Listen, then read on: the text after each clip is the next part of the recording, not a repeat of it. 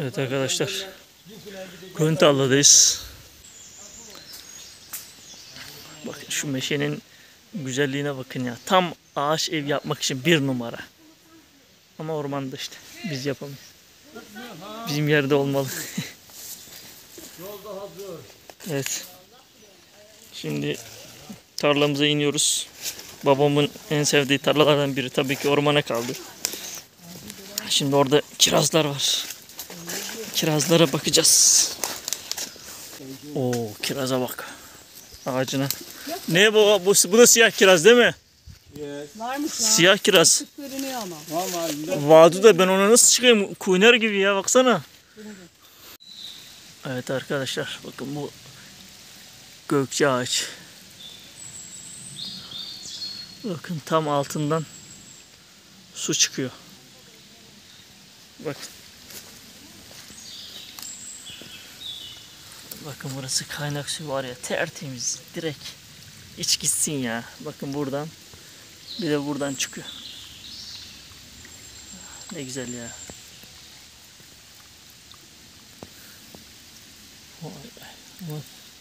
Tehlikeli tabi burası. Bakın buradan su çıktığı için buralarda heyelan yerleri var. Biraz kaymış. Yağış çok olduğu zaman kayıyor. Bir de su da çıkıyor buradan.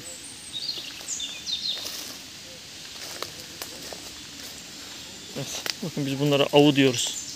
Orman gül de diyorlar. Tabi şu an çiçek yok ama.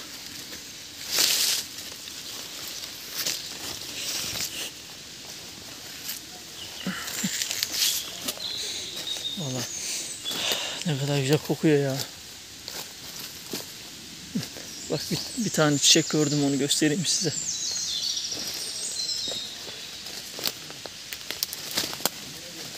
Artık gidiyor ama. Orman gülü. Allah. Arkadaşlar şu çileklerin Vay be. Ne kadar büyük ya. Oo resmen oldu şunlara bak. Pazardan bunları Şunun güzelliklerine bak. Daha çileği. Küçücükten. Bakın. Ali Bey bunun dallarını kırmış. Ali Bey. Yani ayı. Al kiraz. Yani siyah değil. Al bu. İşte bakın. Sarı ve üzeri kırmızı. Şöyle. O Şey- sen eskiden bir çok yemişsin ya. Biraz da biz yiyelim. Sen yeme ha. Ay sinekleri. Oo kiraz işte. Oo şöyle bunları toplayıp yiyeceksin. Emme iyi derler la. Vallahi hep yiyoruz. Ama ne yapalım bunun lezzetini her yerde bulamıyoruz ki ya. Bunun için 5 kilometre yol gelmişiz ya bu kiraz için ya. Şunun güzelliğine baksana. Alı kiraz.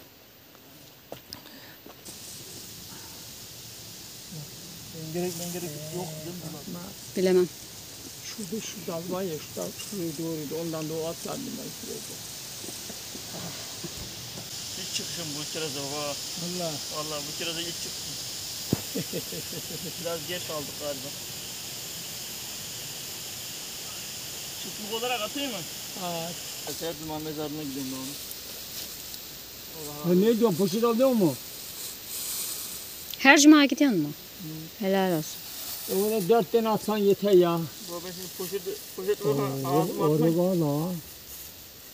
Orada var mı? Nasıl geçeceksin oğlum? Dikkat et ya. Çürük de ağaç. Kuru olsun. Bir şey olmaz o, o sağlam o. Kopar onları kopar.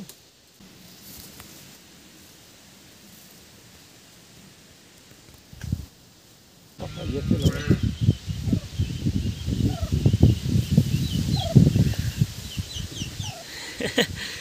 Şunlara bak ya.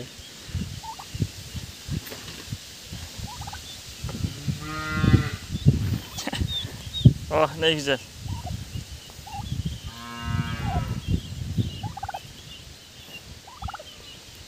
Bu bunların hep dışarıda durması lazım ya. Ha?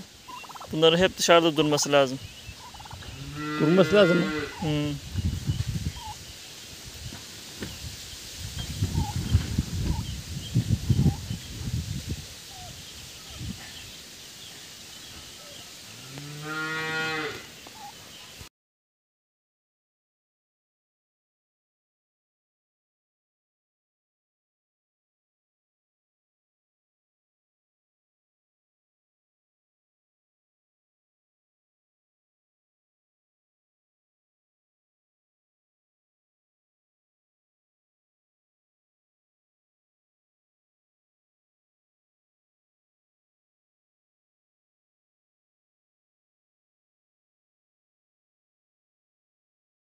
Ormanda çalışma var. Bakın.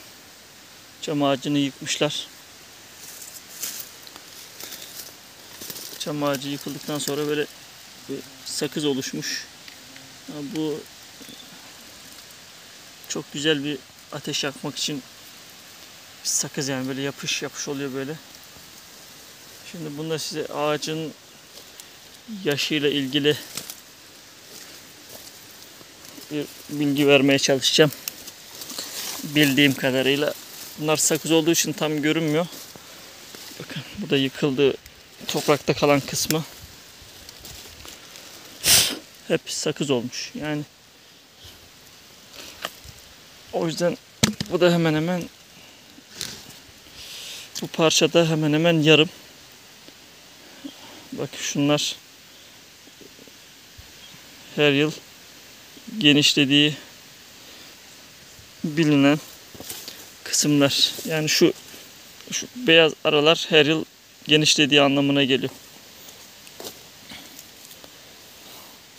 Yani buradan sayabilir miyiz? Şöyle bir dengeleyelim. Evet hemen hemen orta bu. Yani bunu saydıktan sonra 2-3 yıl daha ekleriz. Şöyle sayalım bakalım. Hızlıca.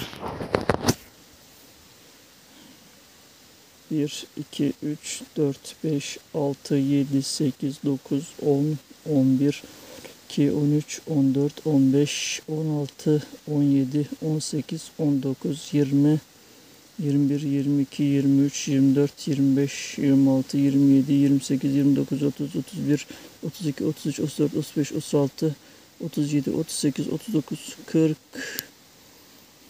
41, 42, 43, 44 şöyle 45 yani tahminimce 45 45 ila 50 yaş aralığında bu çamın ömrü. Baktığınızda şöyle bakın bazıları geniş. Bak şöyle bazıları dar. Bu geniş olduğu zamanlar yıllar yani ağaç için daha uygun hava şartları olduğu. Onun için daha çok geliştiği anlamına geliyor. Dar olanlarsa tabi içeriye gittikçe biraz daha ortalama olarak genişliyor ama aralarda bak böyle dar daha sonra geniş olanlar var. Bakın şöyle daha sonra işte bunlar şeyle alakalı. Yani onun için havanın o yılın hava şartlarıyla alakalı o geniş ve dar olması biraz da. Evet 45-50 yaşlarında bir çam ağacı. Artık ömrünü tamamlamış. Yani bu büyük ihtimal tamamlattırılmış gibi duruyor ama olsun. Biz de şimdi dağ çileği topluyoruz. Dağ çileğine geldik arkadaşlar. Yani çileklerimiz küçük ama gerçekten çok lezzetli. Yani bir kilo bile toplayabilsek güzel olacak. Reçel yapacağız. Reçel. Ya reçelin ben pekmez ve reçelin hastasıyım yani. Severim. İşte bakın dağ çileği bunlar. Bu işte. Şunlar. Görüyorsunuz. İşte Buna siter diyoruz arkadaşlar siter.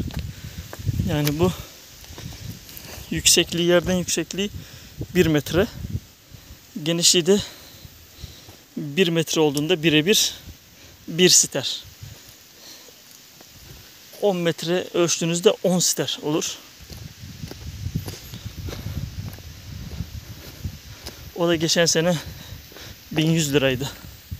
10 siter odun. Bakın böyle alınıp alınmadığını anlamak için de işaret de yapıyorlar, yazı da yazıyorlar. Bunlar tombruk. Biz de çalıştık zamanında bunlarda arkadaşlar. Yani gerçekten bunu kesmemişler bu. Bakın bunu kesilmemiş. Bu uzun kalmış, bayağı uzun. Ne kadar güzel ya.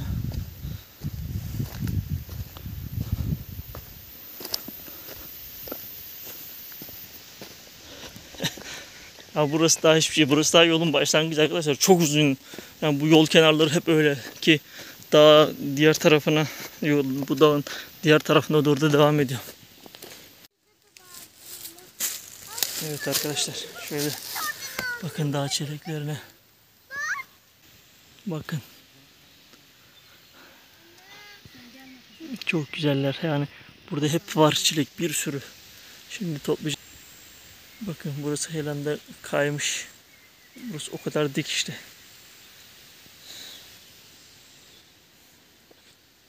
Şimdi burası da aşağıya doğru.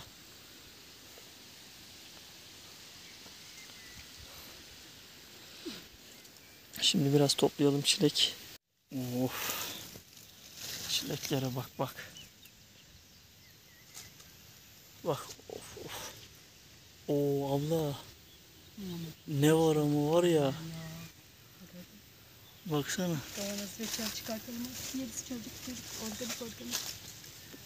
Ben size bunu gösterecektim anne. Evet dayıcım gördük. Teşekkürler. Pembe çilekleri de var mı ki? Onları da Evet arkadaşlar. Bakın. Kelkaya'dayız. Bu kenar şöyle uçurum. Yani bir düştüğünüz zaman Allah korusun. Aşağıya herhalde şöyle bir milyon parça olarak varabilirsiniz. Şimdi buraya çıktığımızda geleneklerden bir tanesi tabii ki buradan aşağıya taş yuvarlamak. Şu taşı yuvarlayayım aşağıya doğru. Size de göstereyim. Evet. Buradan aşağıya atayım. Bismillah.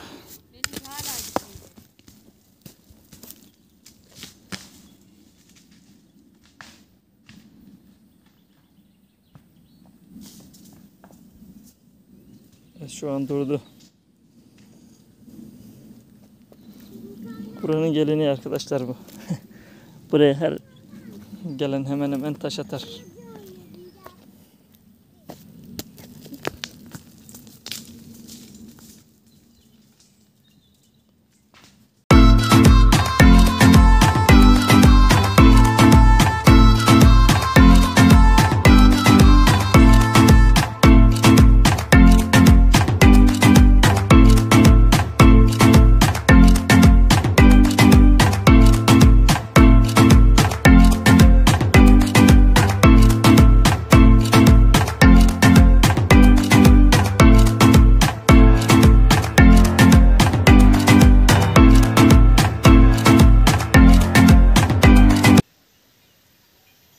İki bulut hortum şeklinde.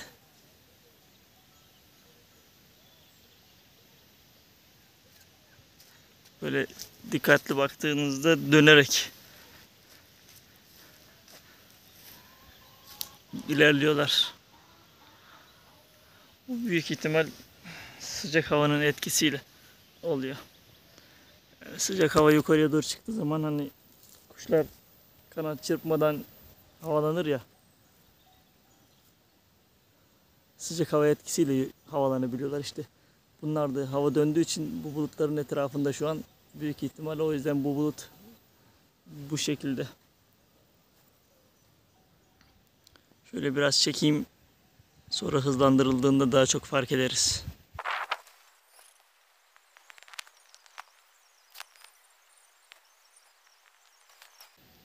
Evet dağılmaya başladı.